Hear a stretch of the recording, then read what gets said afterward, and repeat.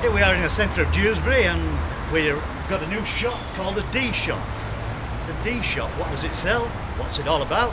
How did it come into operation? Let's find out. So here we are in the D Shop. Let's find out what it's all about.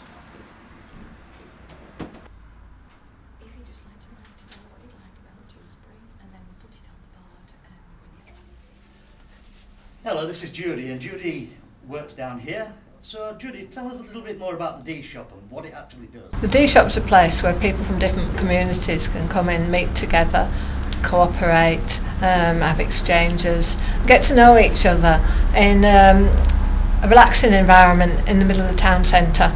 We have all sorts of different activities going on here, and at the moment we're focusing on the heart of Dewsbury. Part of Dewsbury. I want to know more about this. Let's go find out. So, this is the heart of Dewsbury.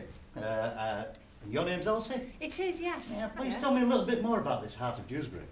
We've been asking everybody in Dewsbury to come in, if they will, and tell us what they like about the town. It's a lovely place.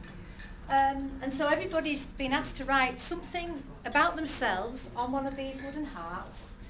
And then we're hanging them up here for others to read also.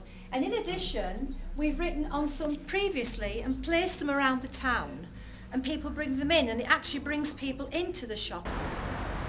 Oh, what a fantastic day to find out that yeah, there is a place available for everybody, no matter of gender, culture, experience, to be able to come, to be able to debate, dream up, uh, and develop whatever it is you may want to develop. This is a place facing the town hall that can invigorate anybody that walks through the door, no matter what it is that you want.